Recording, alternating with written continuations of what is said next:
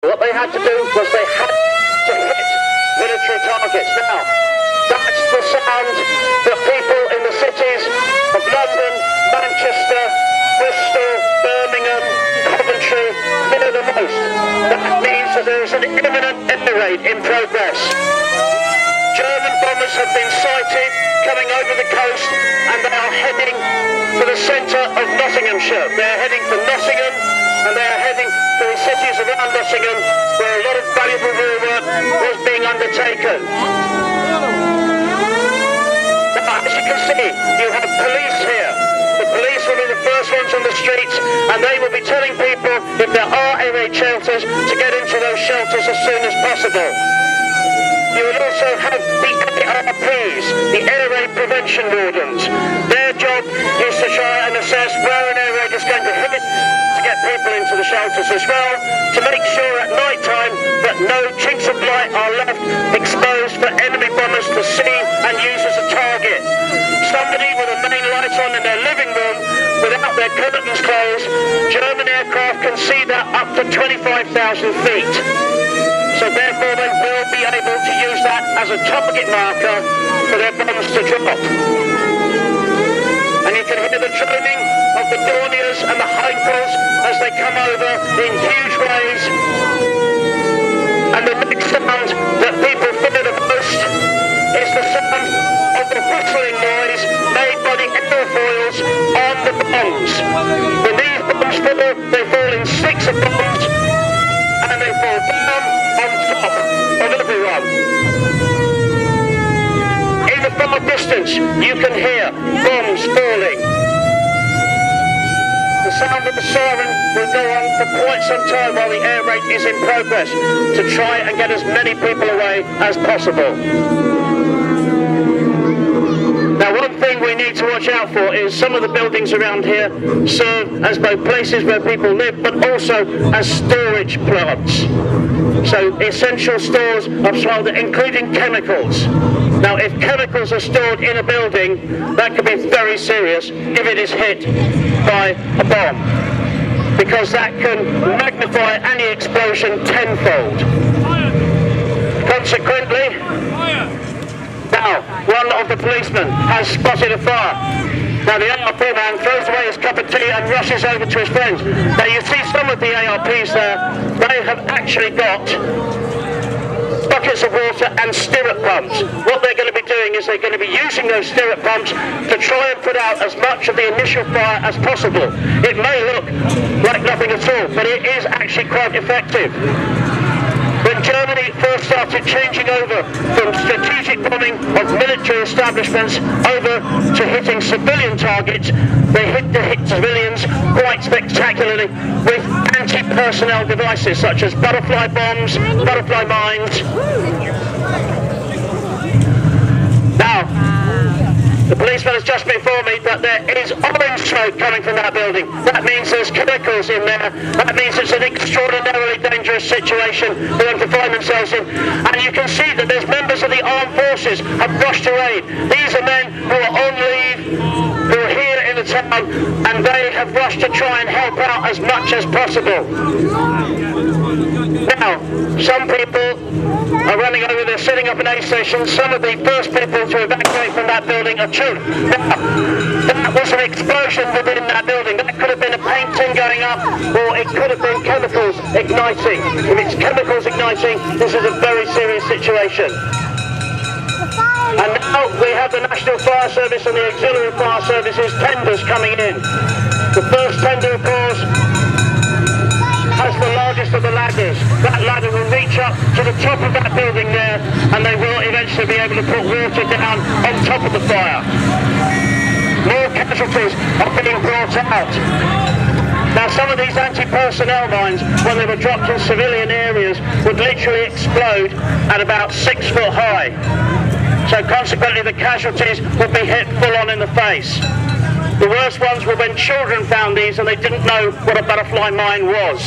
So consequently, they started using them as a toy, and that's how many children were very seriously hurt during World War II in this country because of mines like that.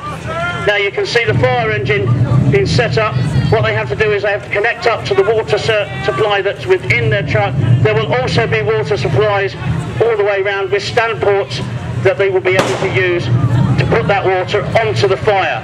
Now this is very much a joint effort. You have the ARP, you have off-duty soldiers, you have policemen, you have all the people coming together to try and put this fire out. And there's thick, cloying smoke coming out of there.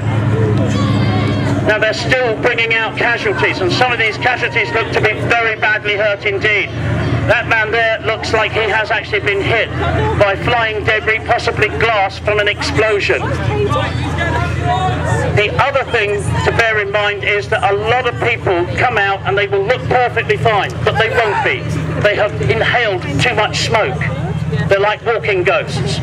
Basically, their lungs have been burnt from the inside, and those people often will find that they die shortly afterwards. They look perfectly fine, but they can't breathe. They can't get the breath into their bodies.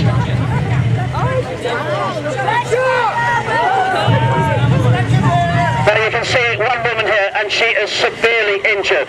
They've managed to get her out but she is very badly injured. Now they're going to bring an ambulance up here, the ambulance service. By the way, all of this is happening while enemy bombs are still falling. Everybody who took part in these knew exactly what the risks were. They knew that they could die whilst trying to help their fellow citizens. And they didn't stop for a second to think about that. They just went in and they helped as much as they could. The casualties once again before now. One of the, the fire hoses has been able to start up. Now you notice with this fire hose, ladies and gentlemen, they're not pouring it straight at the flames. What they're doing is they're aiming it up and they're showering water onto the fire side. Sooner or later they'll get one, maybe two more hoses onto it and again they will put water up into the air and allow it to drop down. Now, sometimes this will happen. Sometimes there'll be a kink in the line and the water will stop flowing. Quite often, by the way, in places such as London, when the fire services went out and started fighting the fires, bombs would actually be falling all over and they would take out the fire trucks themselves, killing all the firemen, or they would hit the water supply, or they would set the River Thames on light. The actual Thames itself would burn with the amount of oil on the surface from burning ships. A lot of oil ships were wrecked, wrecked along the Thames, so consequently oil was everywhere. Now these casualties will be assessed by the firemen and they will say, if there's no doctor around, they will try and triage these patients. They will try and say which one's the most seriously hurt, which one needs to go to hospital first. The most seriously wounded will be got in and they're bringing in another fire truck as well. The police playing an invaluable role here because they're keeping people out of the way of these oncoming trucks.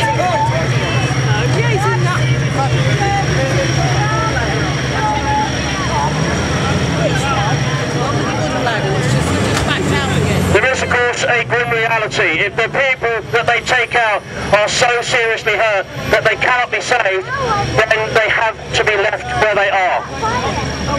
If they can't be saved, they have to be left where they are, and those they can save will be taken and they will be put into the ambulances instead.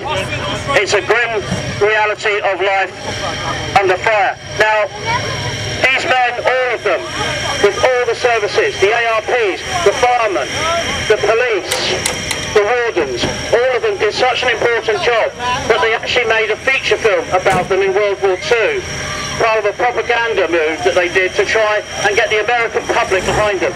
And that was called Fires Were Started. And it was an incredibly popular film in America because it showed them exactly what the British fire people did during the day. There was a reason for this. There were two actors in it. The rest of them, they were actually firefighters and they went out and fought actual fires during the filming. So that's why it was so wonderful of a film, and that's why it's such an evocative film, even to this day, showing the bravery of the men and women that took part in these things. Now they're clearing a space now. There is a very seriously injured woman here. They think she can be saved. They're taking her to a first aid station. So she's been cleared out to a first aid station. And now if you go and have a look at this fire truck, you'll see there is a gentleman, a very brave man indeed, standing at the top there. Now he's got a belt around his waist and he'll clip that belt on, which means that when he's up there and he's using the hose, he'll say he's ready to, like just now, and it goes up further. And It will keep going up and up and up. By the way, ladies and gentlemen, in a fire situation, the winds can buffet between 60 and 90 miles an hour while the fire is going on. Fires create their own way of vortexes. He's up there in those winds, very much exposed. So it takes an incredibly brave man to go up there. Now you can see he's right up there. They're swinging the tender around. The ladder is coming around, the turntable ladder. And they're sort of pouring this on. Those of you unfortunate enough to be over in that corner are probably getting a fine spray of water. Those of you over here, I'm afraid you're going to have to wait your turn. They still don't know what they're dealing with. They've been able to get in and get most of the casualties out, but they still have no clear idea what is going on. Firemen will have to actually enter that building, and when they do, they're going to have to try and find out what it is that they're dealing with. Ambulance is coming back now. There'll be more casualties to take in there. By the way, ladies and gentlemen, if anybody is filming this today, we would very much like you to come and talk to the fire services afterwards because we'd like to be able to show the films on the website for the NFS and the AFS. Now, you see what they're doing? They're attacking the fire from two different sources now. They're pouring water up and down, fine sprays of water, blanketing the fire, not trying to hit it directly. If you hit it directly, it doesn't work. So consequently, they have to push the fire downwards, suffocating it under a blanket of water. And that's what they're doing at the moment.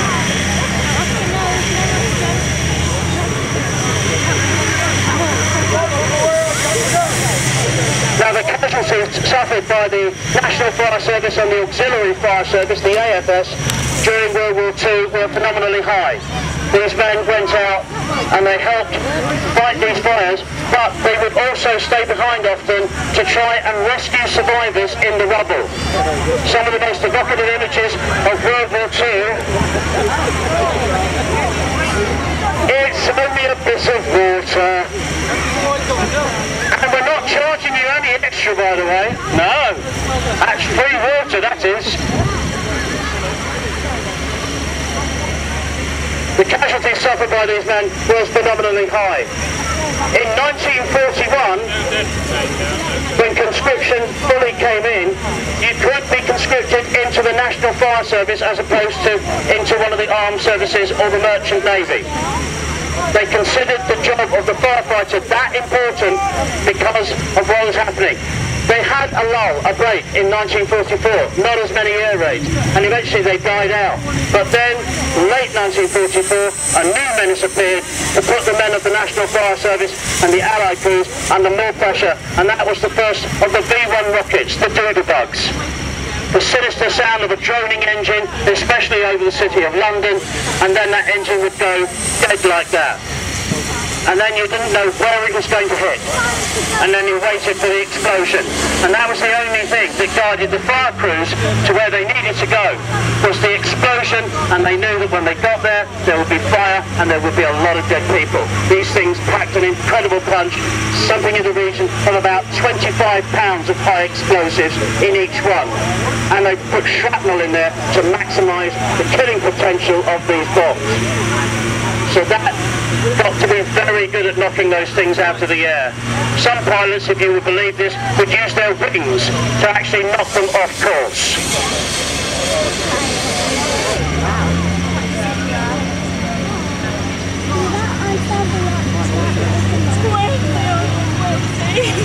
Right, ladies and gentlemen, I understand that unfortunately one of the casualties that was taken out of the building didn't make it. So they're going to be moving They're going to be moving the person, the deceased person out, putting them into an ambulance and taking them away to the mortuary. They did this for two reasons. One, obviously, it was standard procedure. But the second reason was nobody wanted to see somebody who had just died in the area where they were trying to save lives because it would really depress people who are seriously injured and they might not fight. They might not give everything to try and survive. So they would move the dead out as soon as possible.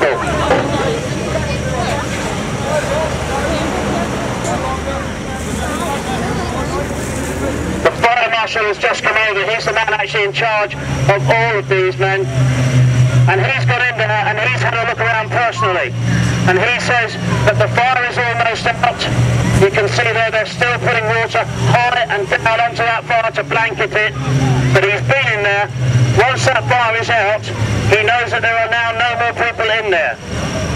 At the far end of the building where the bomb struck, there's too much debris. Anybody who was under there is already dead anyway, because that was a direct hit. So what they will do they have called out, they have listened, no sounds whatsoever, they had to make that assumption for the safety of their own men. It's a very, very grim business, this. But they handle it with great courage, and they always did.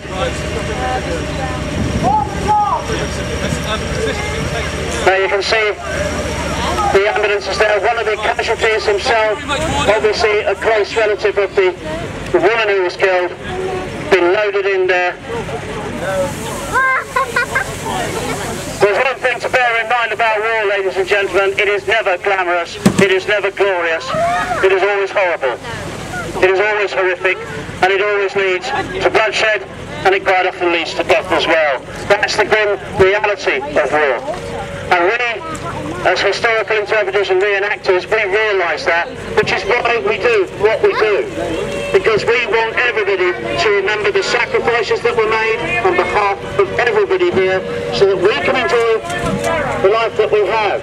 Because do you really think they'd have historical reenactment like this in Nazi Germany? Highly unlikely. Highly unlikely. Or if they did, it would tell a fascinating tale of history, trust me. Now the evidence is taking the fatality away.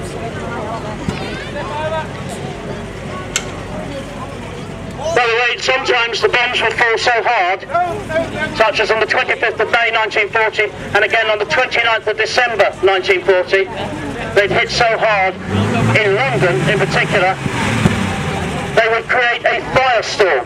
That happened twice in London. The area around the actual city of London, where Bank is today, was hit particularly badly.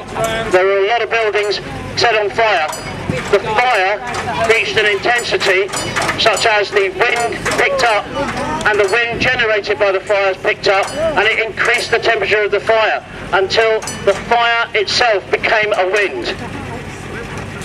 That was a firestorm. The temperature within the centre of a firestorm reached 1,850 degrees centigrade. That's enough to melt stone and iron and incinerate people. A grim reality of this is when Dresden was bombed, the aftermath, you can sometimes see horrific photographs of about 25 human beings in one bathtub. They had shrunk in the intense heat of the firestorm in Dresden to no more than a hand size. That's the reality of the firestorm and that's what some of these men had to face and had to battle during their time with the National Fire Service and the Auxiliary Fire Service. That's how you get the water out the hose by walking it. But now they have seen that everything has been taken care of. There are no casualties that they can ascertain within that building. They've been in and double checked now. There's no casualties there. The incendiary bombs used, of course, set fires in most of the major cities. Some cities fared worse. London got very badly hit, but not as badly hit, of course, as the city, the beautiful cathedral city of Coventry, which was devastated by a raid by over 800 German bombers and almost never recovered from that. But the people didn't allow that to happen. The people got together. First thing they did was they said after the war, we're going to rebuild the Coventry Cathedral. Because all that was left was one single support stand of it. And they rebuilt that around that ruin so that people never forgot. Now you can just see there, up on top of that building, some of the soldiers who were here are now checking to see if there's anything up there. Very much a joint effort by everybody here.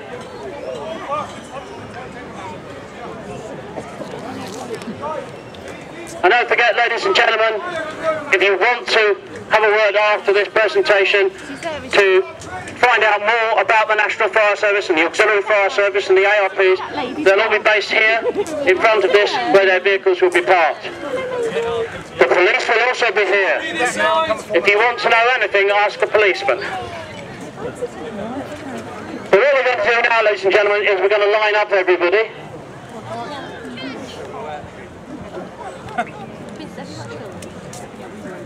And we have the ARPs, we have the soldiers. I can see there's a couple of soldiers there from the Polish Parachute Brigade.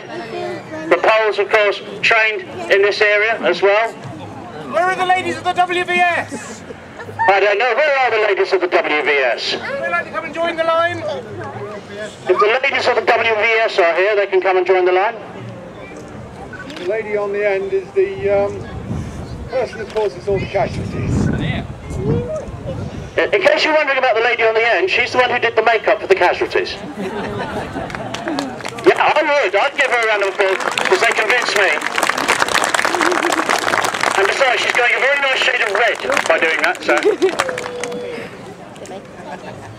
Fire team! Attention! Ladies and gentlemen, I hope you enjoyed that presentation. These are the people who made it happen. A huge round of applause, please, and a big cheer for them.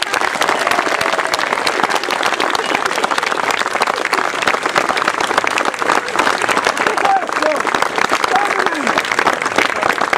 Stand freezing! Yes, that's one. All squads, attention! Yes, miss! Now, ladies and gentlemen, as they go away, if anybody does have any video footage that they have taken today, and they wouldn't mind sharing it with the NFS and the AFS on their website, we'd very much appreciate if you go and talk to the handsomely striking chap over there.